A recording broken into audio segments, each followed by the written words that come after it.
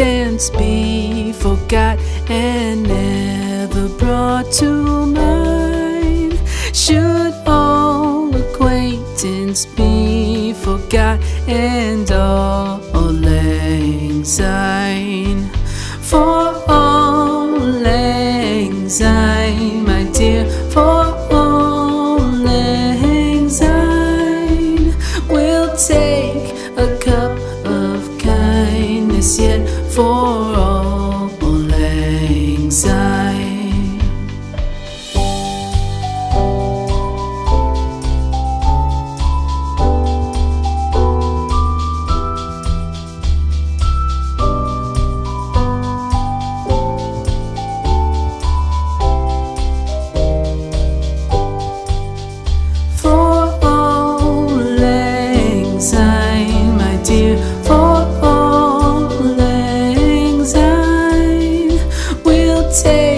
a cup of kindness yet for all syne, for all syne, my dear, for all syne, we'll take a cup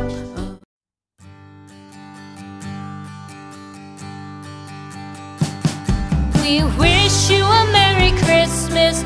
We wish you a Merry Christmas. We wish you a